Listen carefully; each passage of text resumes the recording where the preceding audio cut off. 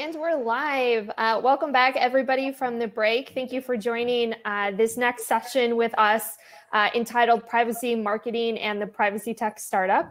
My name is Melanie Ensign. I am the founder and CEO of Discernible, which is a cybersecurity and privacy communications advisory firm.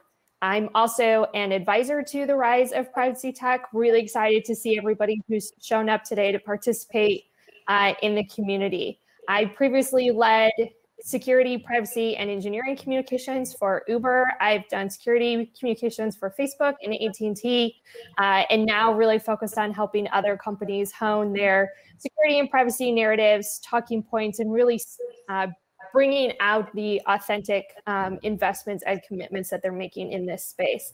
So I am very honored today uh, to be joined by Kate Parker and Cayce Myers. I'm going to ask the two of them to introduce uh, themselves to you, uh, starting with Kate. Uh, tell the folks a little bit about who you are, uh, what you're working on in this space, and how you're thinking about privacy and marketing as it relates to um, privacy tech startups.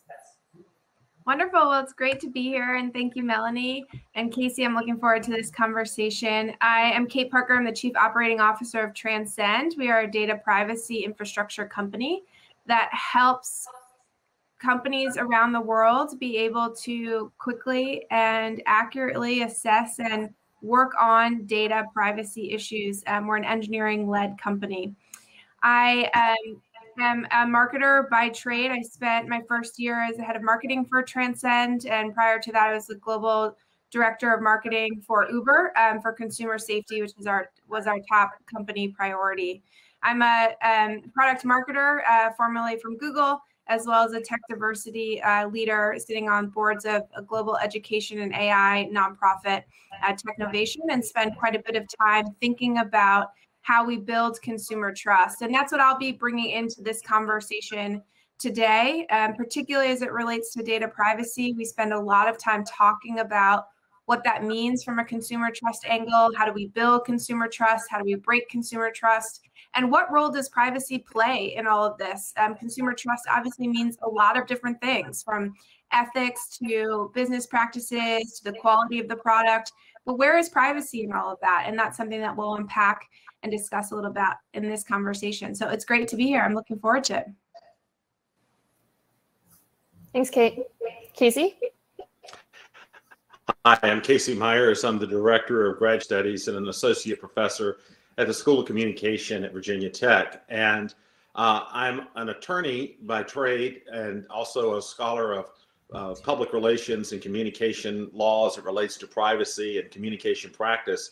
And what I want to talk about today is the role that privacy plays kind of in reputation management and some of the ethical values and ethical issues that have presented themselves uh, and how that kind of those societal demands and those ethical demands may be leading the law as it goes forward and some of the talking about some of the things that we are dealing with currently within the privacy sphere such as uh, data collection European Union regulation, but also what's on the horizon in privacy. How does privacy get used as a um, as an expectation for consumers, and how and how that conversation is driving legislation and regulation going forward into the 2020s, and then kind of looking at some of the things that are going on both internationally and in the United States in terms of privacy law and how that's evolving to deal with new technological phenomenons, but also new phenomenons such as the global pandemic that we've been through in the last year and a half, and how that also relates to privacy as well as it presents new and uh, unexpected um, uh, needs and part of privacy and part of uh, consumers as well. Awesome. Thank you so much uh, to both of you for, for joining us. I'm, I'm really excited for this conversation. Uh, I want to start by giving folks a little bit of context about why privacy, um, and we could even go broader into data protection um, for our GDPR folks that don't use the term privacy, uh, it, why it is so important um, for functions like ours, whether it's communications or PR, marketing, reputation management why has privacy become such an important topic for us? Um, and I would invite you to to think about that in terms of um, the privacy has on a broad brand reputation uh, and, and, a company's uh, brand value, but also the importance of having a, rep, a specific reputation for privacy and respect um, of consumer privacy. So, um, Kate, let, us start with you. Yeah, absolutely. Um, the good news is the answer is quite simple here, or at least from my vantage point, it is. And it's because consumers are telling us that privacy matters. We're seeing studies after studies, and I know folks joining us in this conversation and listening in have probably all read and seen various points of research, but people are saying that they want to switch to companies that prioritize privacy. They feel frustrated by the fact that they don't have control or agency over their personal data. We're also starting to see, and from a marketing perspective, we talk a lot about brand attributes, which means how do people feel about my brand? What are sort of the associations that are coming up? And when people hear about privacy related issues, they're thinking about things like untrustworthy, lazy, unethical. Um, when they see things in the media, when they encounter practices that feel, um, you know, creepy is a word that comes up quite a bit from a consumer angle. And so these are all consumer led insights that companies are seeing and feeling. And in the marketing department, as well as in the public relations department, consumer insights are your lifeblood. That is what is your first sort of telling sign as to what matters for your industry and for your company. And increasingly, and it's really picking up pace, we're seeing more and more folks care about privacy, which means that as marketers, we have to care about privacy as well. We need to understand how our brand is actually showing up with the control and usage and respect of, of data and how our consumers are thinking about that from that angle. So I always start from there. I start with the fact that it really is consumer led. And I think that's an important piece um, for marketers that brings them into this conversation, at least to start. Great, thanks. And, and Cayce, from your perspective, I know. Oh, go ahead. No, go please. I was going to say, I know, uh, you know, from, from both a legal perspective, but also from, um, you know, a scholar and kind of a, as a um, scholar of marketing and, and public relations. Um, is what we're saying now significantly different beyond the consumer trends um, that Kate mentioned? Is there something else happening within the industry, within the profession, um, that is driving the importance of privacy to reputation as a whole? So I think that, that Kate is absolutely correct about consumer-driven requests for privacy and consumer expectations of privacy. And if you look at sort of decision making in the market, so people make decisions about where they're going to purchase products and services, what companies are they going to interact with, we know that company values are now very important on a lot of different levels for people making decisions about how they're going to spend their money, who they're, what companies they're going to support, what companies they are not going to support.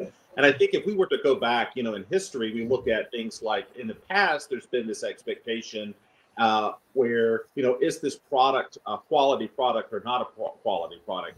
Is this product uh, going to be delivered on time if I'm, I'm using a catalog or online uh, purchasing. And now we're seeing a new expectation. In addition to those expectations, is is my how is my privacy going to be protected, and how is my data going to be used? And if you look at it, there's really two issues. You know, there's the issue of data collection and then data usage.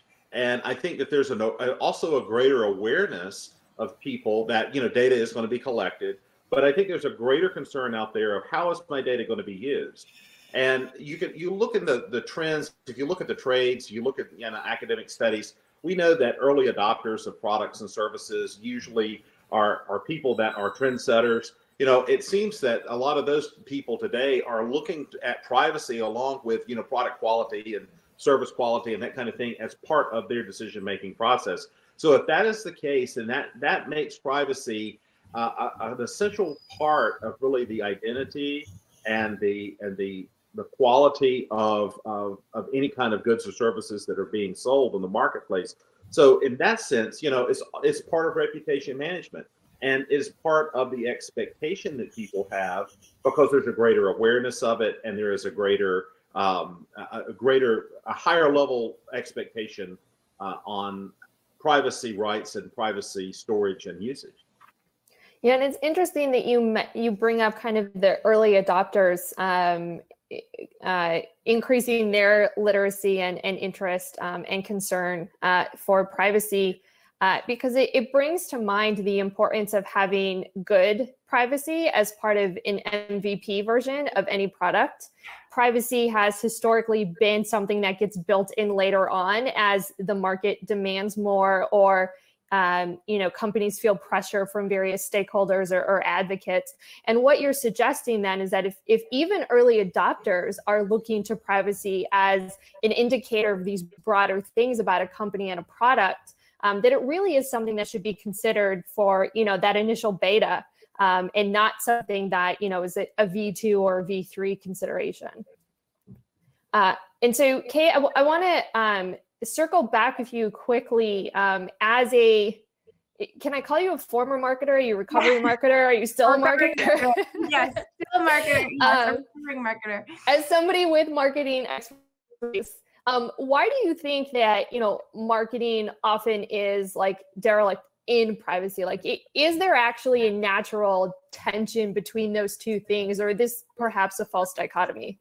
No, I think there there absolutely is a tension, um, and it's fascinating for me as someone who has studied consumer trust in a variety of different topical areas to watch what is very different about privacy than something like consumer safety or tech ethics, et cetera, more broadly, or just product safety. Within privacy, the issue that we have is that marketing as an organization is actually built on and held to success standards based on the use of consumer data. A marketer's ability to be successful in many ways relies on what we now more traditionally call growth hacks the ability to find as quickly as possible the consumers who have expressed any interest in anything related to anything that you might be selling and putting them through a very um, specific and sophisticated funnel in order to get them to purchase or interact with your company. All of those mechanisms are based on the sophisticated use of consumer data. And so, what's happening with privacy in a really interesting way for us all to think about how we interact more broadly with companies that are starting out on their privacy journey is that while marketers care very deeply about consumer trust, and it would make sense that de facto they would care about privacy. They're getting mixed messages internally and they've got a misalignment of incentives because it becomes very challenging to prioritize and champion the changing of company practices. And that fundamentally means you're talking about prioritizing and changing the very practices that determine whether or not you are good at your job and are going to stay in your seat or be promoted or hit your bonus or get your org the right resources. And that's frankly what what sort of in this very messy nest of privacy and something i think we need to talk a little bit more about and how how we bring marketing along in the privacy journey because it won't just be in talking about consumer trust. Even though obviously i feel deeply about that we all feel deeply about that it's not enough until marketers have the tools that they need and the shifts that happen culturally across the company so that they're not held to success metrics that depend on the very practices that we want them to shift and alter and change. And that really is a CEO and board level discussion that needs to happen in terms of ethics and governance and what the standards are um, to let those marketers succeed with sort of changing um, direction in terms of the adjustment of consumer data. Yeah, that, that makes a lot of sense. And I think it explains a lot of the, the doc, dark patterns that we see um, across the web and in mobile apps as well, because marketers are so reluctant um, to let go of that data um, because they are already, they are pre-committed to certain metrics um, with the C-suite. Um, and so it, it is not surprising that we see so many companies dragging their heels in terms of transparency, choice, um, and user respect. Um, Cayce, I want to shift gears a little bit um, and talk to you a little bit more in terms of, you know, what is legally required um, for privacy and data protection versus the ethics and the public expectations. Um, so, in terms of cultural norms, how they're driving the law, um, how do you kind of uh, think about all of this? You know, as we're talking about reputation, nobody gets uh, trophies for he- hitting the legal minimum, right? Uh, you have to. The only way you can grow reputation, um, a strong one in privacy, is to go above and beyond uh, what's required. And so, how do you think about the legal requirements versus, you know, the, these new expectations around ethics? Right. So the legal requirements, as the name suggests, are required. I mean, there's no option not to do that. But the question is, is so there's maybe a difference between mandatory minimum standards and maybe expectations ethically, maybe consumer expectations. And I think one of the things that Kate was talking about a minute ago, where we're we're dealing with this issue of okay, well, how we, we've got data analytics that we can use, but we also have you know privacy concerns. And I think what the what creates such a tension now is that there isn't that we're in a state of flux. We are at a state where there's an increased awareness of privacy concerns. There's all of this data that's available that people are using for analytical purposes that is uh, effective. I mean, that's why it's, it's, it's so valued. And then we have the law that's sort of catching up with this at the same time. And then in a multinational corporate uh, environment, you have different expectations by country. So you have a very robust privacy laws by Europe and GDPR. You have some American states that are stepping in, creating their own sort of GDPR-like state statutes, and then you're you as a company are trying to, to go through this. I think when you have this summit in 2025 or 2030, you know, it's going to be a very different conversation because there's going to be more established norms. Now, in terms of going above and beyond in the ethical component, I think that, you know, like I said, you know, consumers, uh, they, they live on a continuum between, you know, being totally off grid and being totally full disclosure. And most people live in somewhere in the middle of that. And I think as awareness increases, I think as and also uh, as as as problems uh, awareness uh, emerge, so people are aware of maybe data breaches or they're aware of misuse, and that and that drives that kind of those types of consumer concerns drive the political discussion, and that political discussion materializes in laws and regulations. And I think when we're looking at expectations, I think as as we are entering into 2020s, I think that the awareness of privacy and the awareness of data usage, storage, and uh, collection is such that we're we're we're entering a phase where uh, those mandatory minimums may shift upward to be even more robust. And I think that there may be uh, a room for companies to maybe distinguish themselves in terms of reputation for being good stewards of private information. And I think that's what a lot of the expectations are amongst consumers in the marketplace. Yeah, absolutely. Um, so, Kate, kind of building on that, can you talk a bit about how you view um, brand building um, as well?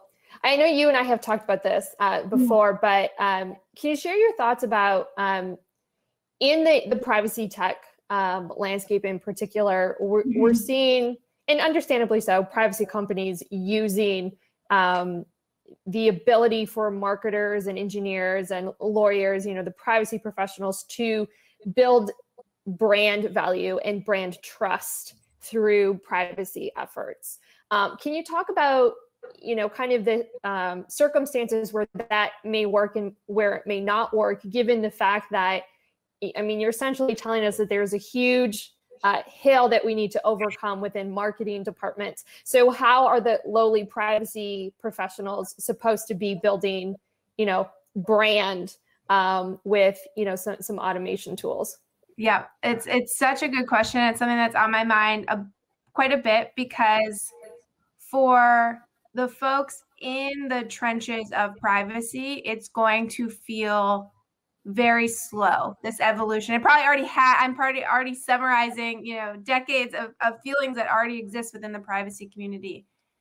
My belief is that it will take off. This fire will ultimately kind of start and continue with brand trust because it has all of the attributes it needs starting with the most important which is whether or not consumers care about it And wherever that is present, that is going to be a catalyst for change. But in this period, and to use Cayce's term, which I love, which is this, this period of flux and change that we're in right now, we need to be careful and considerate of our audience and who we're talking to. And and I don't mean we need to tread lightly, but I mean we need to be thinking about the pressures that they might be under. So for a message around brand trust to take off with a company, there probably needs to be quite a bit of factor. You probably need a marketer who is not being held to growth standards by their CEO or their board that make it nearly impossible for them to change or alter any of their current structures in a way that might be more privacy um, sort of preserving, but is um, different than the legal regulations, right? This sort of gray area in between those spaces. The other thing that we need to consider is that we have to invite marketers into the conversation in a way for them to self reflect on what might need to change within their organizations in order for a story or a narrative around privacy and brand trust to make sense. Incentives is a big piece of that. But also, to draw upon your example, it could be as small as the examples of the way that we're setting up our websites. Are we so held to specific data collection that we have somehow created incentives for our designers for the folks who are just making the, the buttons and the logo and the and whether or not it is clear that data is being collected. So inviting some self-reflection into that process, I think is critically important. And then understanding that a company is not going to start overnight with a brand trust campaign or an issue or a bold statement without some serious reflection of how that might impact every node and touch point throughout the company. And that's true beyond privacy. I mean, you look at any type of issue that a company wants to tackle, whether it's sustainability to you know taking a stand on a, a, different societal issue a company is going to do a very thorough 360 review to say what's working for us in being a leader on this topic and what's working against us and if that against us column, that could be internal practices, things they need to clean up, places where there's no clear owner, places where there's a lack of resource or investment. That's what's going to rule the day in terms of the decision of whether they want to go out and hang their hat on this issue. And so we need to be helpful in cleaning up the what's working against you column before we start championing and creating pressure for them to go out as champions because everyone needs to protect their backside or their blind side in this issue. And that's where we can be most helpful um, in communicating what brand trust could look like. Also, yeah, it, oh, I was just going to say super quickly that I think there's in a uh, to leave on a positive note when the big players like Apple and others take strong consumer oriented marketing stands that helps to open the door for the conversation with other companies because people see those commercials, they see that interaction, they see people responding positively to it. Um, so there is sort of this give and take between consumers that it's like this little catnip that's like, oh, that looks interesting. People seem to be responding well to that. And that might invite further conversation as well. It's interesting when you you mention um, kind of the the things that cause hesitation, right? And the fact that, uh, particularly in very competitive markets, um, nobody wants to cut off access to that data before their competitors do. Um, and so it's one of the areas where I think regulation can be the most helpful in leveling the playing field is, you know, oftentimes the line that companies are not willing to cross is where their competitors are um, to cut off access to intelligence um, or insights that their competitors are going to continue to have, but they won't have. Um, is often something that trips up internal privacy conversations, especially when we're talking to marketers about, you know, it's actually really sketchy that you're doing this. Well, but all of our competitors are doing it, and it's how they're competing with us in, in certain areas. Um, and so you know, it's interesting to me that so many of our existing privacy laws, in Cayce, I would love your input on this. So many of our privacy laws seem to be in response to very large tech companies who don't have as much competition as other companies. Um, and so the laws don't always consider the fact that the law needs to be um, universal in terms of um, cutting off those problematic practices from everybody in a market. Um, because if if it's only affecting one industry one sector it's so easy for a competitor to pivot um, and they still have access to those problematic practices that that you've stopped doing. Um, and that makes everybody hesitant um, to make these big systematic changes that need to happen. Uh, so Cayce, i'm just kind of curious your perspective um, in terms of how, how, should we be thinking about competition with regards to privacy law? Um, and then what are the other privacy issues um, that we should be thinking about these kind of gray areas that aren't yet covered um, in existing uh, regulation. Sure. And so, you know, the the lawmaking process is at the at the statutory level through Congress or state legislatures is a political process. And so, you know, it's it's slow to get done. I think that's why the law is always sort of behind. Now, regulation out of uh, agencies, uh, that's also oftentimes in response to new new phenomena. So if we were to go back 20 years and, and have a talk about what's going on, it would be all about like consumer 20 years ago, it would be about consumer confidence in online shopping. And now, you know, we're past that point.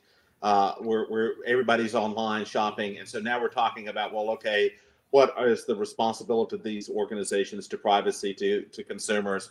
What is the um, nature of uh, liability for uh, online companies and what should they be uh, held accountable for or not held accountable for. And you can see that in the discussion about Section 230.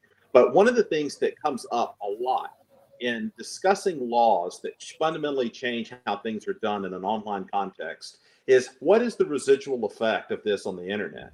So the internet is a place to share information and to grow. And a lot of the regulations that have been passed are very cognizant of that. We want this this space to grow and not be encumbered. And if you look at any of the, not just privacy, but any kind of online regulation that has emerged in the last 20 years, whether it be net neutrality or uh, 230 reform or whatever, is you always have people out here. Well, if we change the law this way, is this going to fundamentally change the way online works? Is this going to change how businesses are going to be able to do business? And so I think that's part of the as that unknown factor. If we, you know, how is the GDPR going to affect business you know three years from now and four years from now how is that going to affect online communication? So i think that's one of those things that uh, is is the unknown and that's always going to be part of that discussion.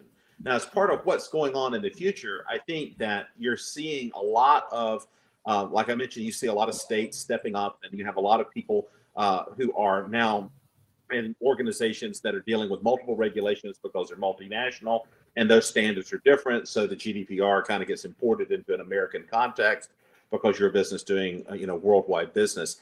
I think there's also a, and I was reading a study just before this about you know how do companies change and relate to privacy. So privacy officer, the people that are designated in that position, that has grown uh, since 2018, and I think there is a recognition of what like Kate just mentioned about getting these different constituency groups together to talk about their corporate approach or their organization's approach, whatever corporate or nonprofit approach to privacy and how that's going to be handled in the context of consumers, how it's going to be handled in the context of employees, and also part of their marketing and uh, brand management strategy. So I, I think that's what's on the horizon as of now. I think also one of the things that has changed is if you look at COVID 19 and the pandemic, there's new privacy issues that are emerging, like contact tracing is a privacy issue, uh, you know, things like that. So you're going to see not just with technological change, but just global change, societal mm-hmm. changes is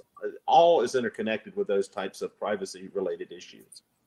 I completely agree. I just want to pick up the thread that you were mentioning around this this gray area because I, it that feels so critical to me. Um, as we look at this space between the current regulations and what is going to change and adapt and get stricter within that space and then the earlier conversation we were having around brand trust it feels to me like there's a slightly missing piece of this puzzle that I would love for the, the rise of privacy tech to help contribute to, which is the actual dimensionalization of the business impact, which is a slightly different way of thinking about it from just the regulation and what's that going to look like and how much stricter or complicated is our business is going to have to deal with you know varying levels of of the law.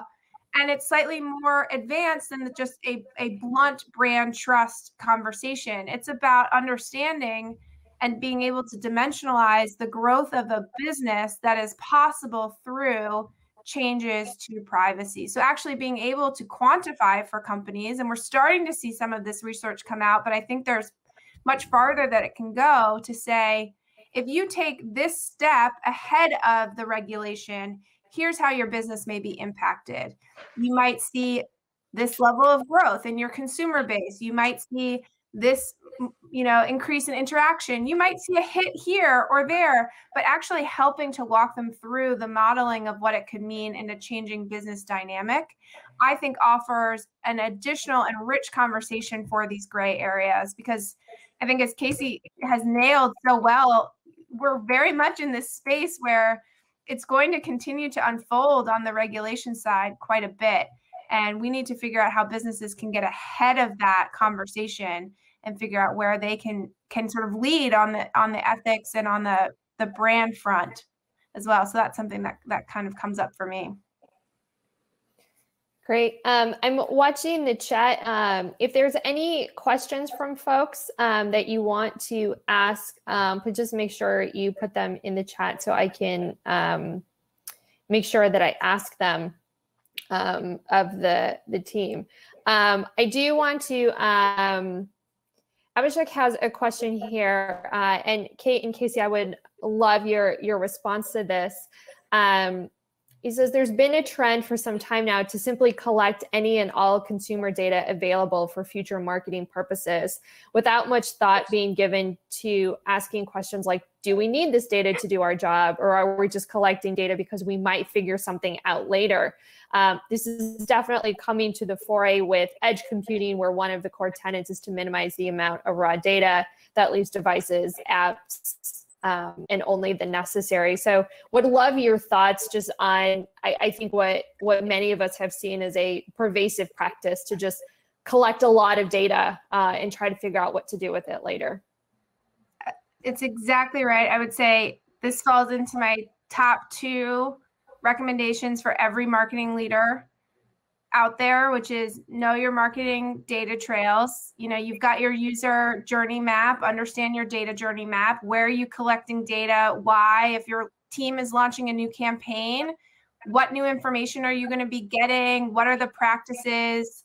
Being able to actually map and share that. And then, two, which highlights exactly what this person was was noting in their comment, which is recognizing that more data is not more. It's a I, I um, could not agree enough with what this commenter shared. We have a problem within the marketing industry and in growth oriented departments more generally that we our current default is that if we grab it now we might come up with something really really smart and clever to do with it later but what ends up happening is we just get more and more and more and more and we lose our understanding of where our marketing data trails are, why we're collecting it, why we're using it. And that is just that's the slippery slope that if we can tackle those two things of changing our mindset that more is not more when it comes to data, it's not going to protect us in the future or help us grow as a company in the future and knowing exactly what we're doing with our data currently, I think that that will go a long way to having more productive conversations with the marketing departments around data privacy in general. It'll re- it'll get us to a, a good level of education is, is my viewpoint. And I know Cayce, we've chatted a little bit about the transparency angle of that and what it looks like to be transparent as a company and how that relates to ethics and components. And I think that sort of weaves into this conversation as well. I think it does as well, and I think that you're right about you know we're collecting organizations collect data to what end and how how do they store it, how do they use it, and those are some of the, the areas right now where there are laws and regulations that address that and there's laws that do address using data in certain circumstances and can you uh, legally use data to do certain types of promotional offerings and things like that but it still is an area of law that is is not as uh, cohesive or as robust as is the as the field is so the field is much more developed and the law is sort of catching up and like i said before i think if we had this conference uh, we have a conference next year talking about this topic. I think that there's going to be a there's going to be a different conversation, uh, and particularly if we have a conference ten years from now talking about this topic, we're going to have a different conversation.